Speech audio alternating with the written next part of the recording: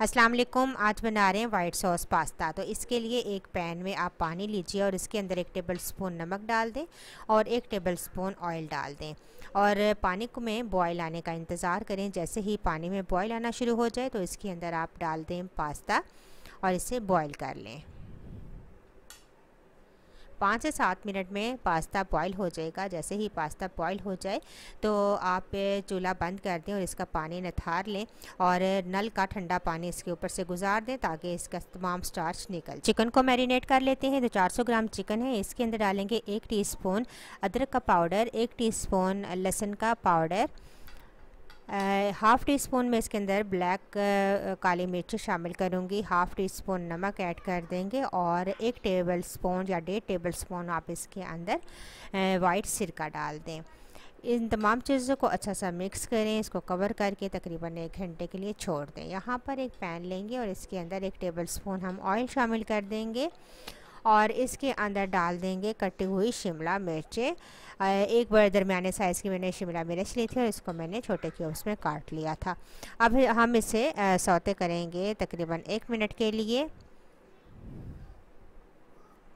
और इसके बाद इसे हम निकाल देंगे पैन के अंदर से। अब इसी पैन के अंदर दो टेबल स्पून ऑयल शामिल करेंगे और इसके अंदर डाल देंगे मैरिनेटेड चिकन और चिकन को फ्राई करेंगे तकरीबन पाँच मिनट के लिए ताकि चिकन अच्छे से हमारी डन हो जाए। जैसे ही चिकन डन हो जाएगा तो बस अब हम इसे पैन के अंदर से निकाल देंगे। इसी पैन के अंदर डालेंगे दो टेबल स्पून बटर और दो टेबल स्पून इसके अंदर मैदा डाल देंगे और दोनों चीज़ों को हम फ्राई करेंगे, भूनेंगे यहाँ तक कि मैदे का कच्चापन दूर हो जाए। तो तकरीबन एक से दो मिनट के लिए हम इस दोनों चीज़ों को भून लेंगे।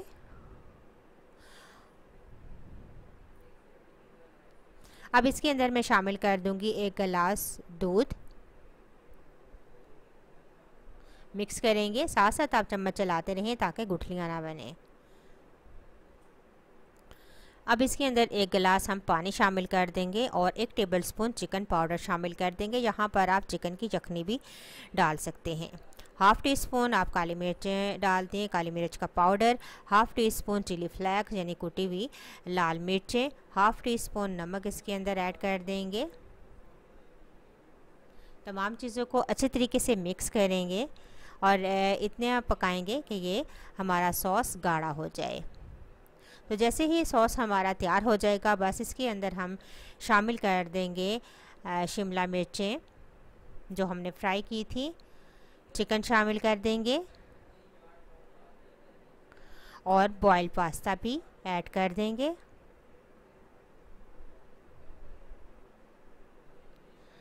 तो बस तमाम चीज़ों को अच्छे तरीके से मिक्स करेंगे।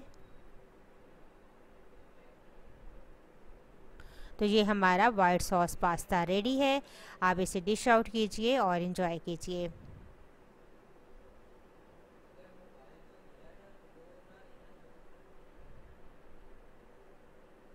बहुत ही मज़ेदार और बहुत ही यमी हमारे पास चिकन पास्ता रेडी है। वाइट सॉस के साथ ये मैंने तैयार किया है, ज़रूर ट्राई कीजिएगा।